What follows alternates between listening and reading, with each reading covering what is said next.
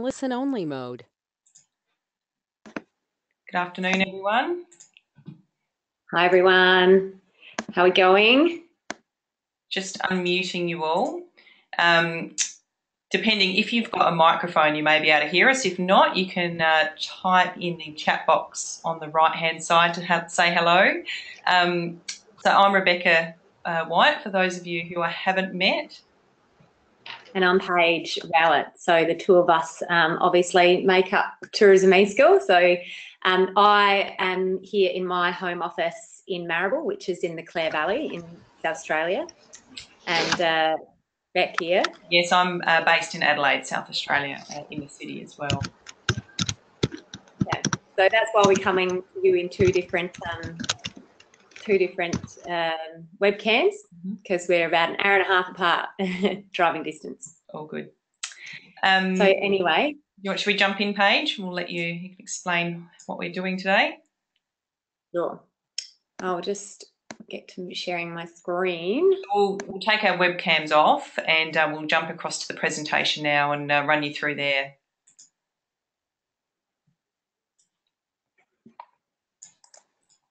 So all good your end, Beck? Yep, all good. Cool. Oh, excellent. Okay, guys. Well, it's absolutely wonderful to have you join us today. So, thanks so much for taking time uh, out of your busy schedule. We know um, that the everyone is flat strap um, in the industry, so it's lovely that you've taken the time. Um, as we said in our email, we just really wanted to take a quick half hour to bring you up to speed with what we've been doing um, in the past year and what 2017 looks like for us, and also where the opportunities um, of where we could help you um, with your destination marketing and industry capability or industry development moving forward. So let's dive straight into it. Cool. Um, so first up, just a quick recap for those of you who haven't worked with us or aren't familiar with what we do. Just a quick rundown of what we've done um, with industry over 2016. So we ran our first tourism marketing academy and mastermind back in May 2016, and we're actually about to we're relaunching today the next round of that. So that's a six month program which we'll talk about a little bit further uh, in just in a couple of later slides. Um, we also facilitated tailored regional marketing mentoring programs uh, for a couple of regions. So in tropical North Queensland and Riverina. So we worked with um, a group of around 80 operators in each location, and we tailored up some tailored um, training modules. So four modules for Queensland guys on content marketing, and three for Riverina, uh, all around digital marketing. So we also worked um, and developed local government tourism destination action plans for Western Adelaide. That was the first time that plan had ever been developed, and also Port Adelaide Enfield uh, at the local government level. And we also worked with Fleurieu uh, Peninsula Regional Tourism Board and their executive officer on developing their three year strategic plan, taking them through to 2020 as well. Um, we also ran our third um, round of our destination marketing and mentoring program. So that's currently in progress. So that's a six month program as well for destination marketers. And we were also lucky enough uh, to be invited to facilitate 10 presentations and workshops around Australia. So we ran them in Victoria, Tasmania, South Australia, and Queensland. And we also wrote uh, 26 tourism marketing blog posts as well, which we share out through our monthly e news, which you guys probably have all seen because uh, you're on our email database. So, hand back to Paige um, to cover our plans yep, so, yeah, so our plans for 2017 um, look pretty similar to what we've done um, last year. Um, as Rebecca just said, um, today we've launched enrolments for our Tourism Marketing Academy and Mastermind, um, which is due to start on the 9th of May. And we'll go into detail about what that um, program looks like in the uh, next slide. But um, for 2017, obviously we're running that. We also want to work closely again with destinations this year, but um, in what capacity we're currently working through and would absolutely love your ideas on what is needed um, and which is one of the main reasons for this um, for this briefing is to chat to you about that we're also planning um, on writing a blog post per fortnight for the year again. So hopefully we'll have around 25 fresh articles um, for you to share with your industry. Um, and also, obviously we write for industry, but we're also writing for um, destinations as well. So hopefully you'll be able to find those um, really beneficial for your marketing implementation. We've also um, already facilitated two free tourism marketing webinars for the Queensland Tourism Industry Council and the New South Wales Business Chamber um, memberships, which is part of our partnership with working with industry councils. And we look forward to um, offering more free training webinars um, through those partnerships as well. So um, we're hopefully going to be launching a few more of those throughout 2017 and, and 2018 moving forward. And obviously, we'd also be absolutely delighted to um, come in region um, to facilitate any presentations or workshops at training days or conferences throughout the year too. Um, it, it is a great way for us to get out and meet industry and, and really connect um, on that deeper level with operators and destinations to learn more about what their key challenges are and therefore tailor our content um, uh, for them too. Mm -hmm. Cool. So I'll just take you, um, just explain a little bit further about our Tourism Marketing Academy. Now, I know we've just had a few people who've um, come in and may have just missed the start of the presentation. So um, don't worry, we are recording this meeting as well, so you can catch up there. But the main things we've just covered so far is 2017 plans. And the biggest, um, the single program that we run, um, this is the second round, it's our Tourism Marketing Academy. And this is our six month marketing mentoring program for tourism businesses, which we've launched today. We've just run a free webinar this morning um, with a couple of hundred tourism businesses to launch that. And so this is definitely aimed at tourism businesses, but we do have a bit of interest for destinations and visitor centres to join it. So they can join it if they'd like, but they just need to be aware that it is tailored more for the tourism businesses uh, who've got a specific product they're selling.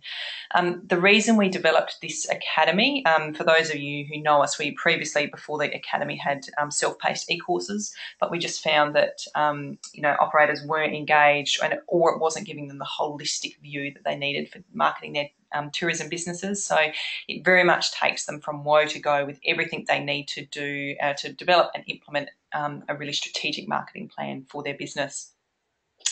Um, it's basically the way we see it is we know a lot of you in region um, at the regional tourism organisation or local government level are already doing industry development, which is fantastic, whether it's standalone workshops um, that you're bringing in already, which is fantastic. So we really just see that this academy sits above that because it, it covers absolutely everything they need to know, whereas often the um, workshops and training that we deliver in region um, that you run for your operators is often just one small part of marketing their tourism business.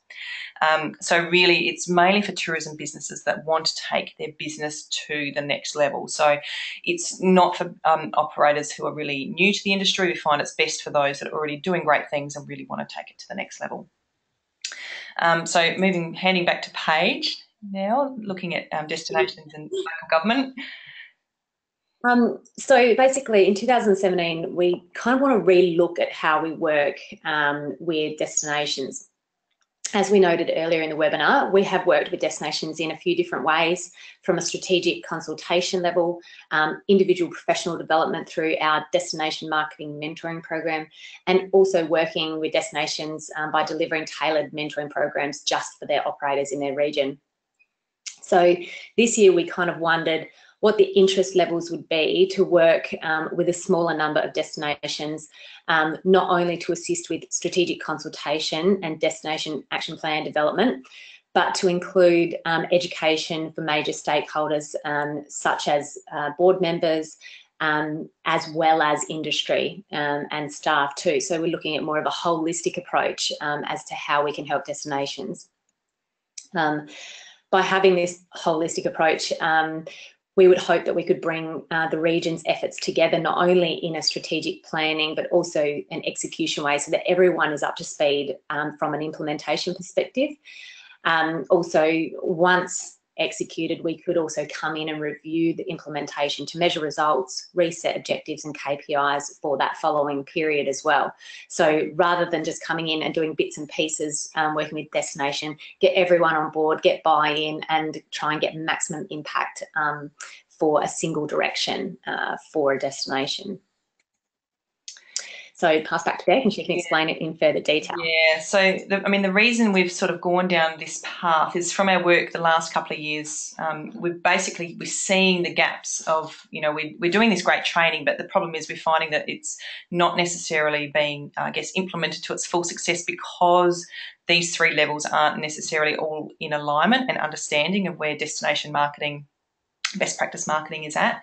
Um, so we've found we've found this just recently working in a strategic plan for government, um, local government that if the key stakeholders aren't up to speed with what is best practice destination marketing, so for you, each of you are in very different, um, you know, regional setup, whether it's your board, staff, or elected members. If they're not up to speed with best practice destination marketing strategy, uh, it's often a much harder uphill battle to get traction, support, resources, um, to you know move forward with marketing and moving also away from the older broadcast style marketing to more advocacy and engagement marketing, which is where best practice is at.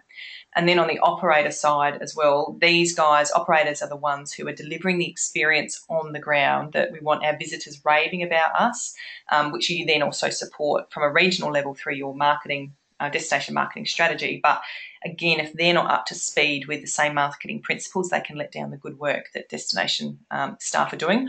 Or you've only got a small pool of operators that um, can help you market your region when you know there's a whole heap of other operators that you know you could be could be helping support your online marketing efforts. So again, up till now, we've really been working mainly with marketing staff, or at the operator level. And we've done a couple of um, training sessions with um, board and elected members, and we can just see the value of doing something that's more holistic, um, that works across these three levels um, to really get some great runs on the board um, for our destination. Cool. So, so I guess, um, yeah, we'd, we'd really, really appreciate from a destination perspective your thoughts as to whether this type of um, um, service that we can provide is something that resonates with you, your region, or your local government body. Um, we completely understand that every destination is very different from a budget, resourcing, industry maturity, um, and destination product offering um, perspective, and even key stakeholder knowledge perspective as well.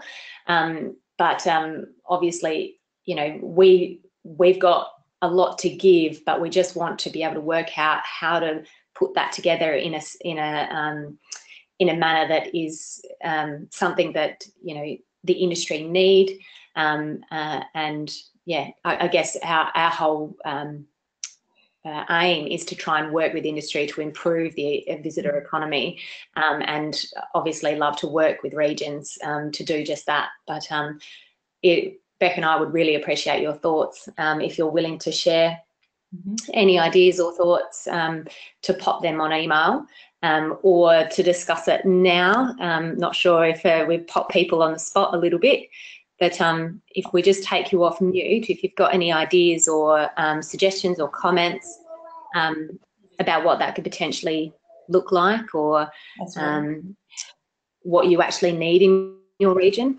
Yeah, we did a survey about we did a survey about um, two three years ago. We sent it out um, trying to kind of work out what destinations needed in terms of that type of support, um, and the the answer to that was our destination marketing mentoring program. Um, and we feel as though we need to evolve that program, um, evolve that service, um, and yeah, we just really love your feedback as to as to what you think could be required by industry. So everyone's off mute. So if there's anyone game that's got any thoughts, um, fire away. If you don't, as Paige said, that's absolutely fine. You can share with that uh, with us um, on email. Um, I know Marnie is here today. You're doing our mentoring program, Marnie. I know you don't have a microphone, but I guess so. Marnie's already done the training with us. But I don't. I guess from your level perspective, Marnie, is there value you see um, from doing the you know stakeholder training as well as operator training um, for your region. If you want to pop that in the chat box. Um, I know Bess, you're also here from Eyre Peninsula as well. So if you've got any feedback, let us know. Anyone else brave enough to speak?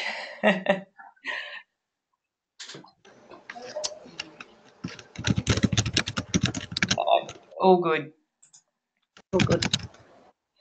Cool. Well, what that's absolutely okay Yeah, that's that's that's absolutely fine too. Um, I guess the next steps here is we will, um, yeah, we'd appreciate, I guess, any feedback that you've got on um, email. We are going to resend out a um, short destination um, strategy, I guess, questionnaire as well, so people can also share some ideas and thoughts there as well. There's absolutely no commitment from your end, your region.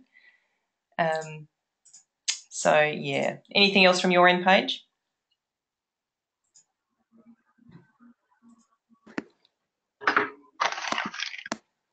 Sorry, still there, Paige?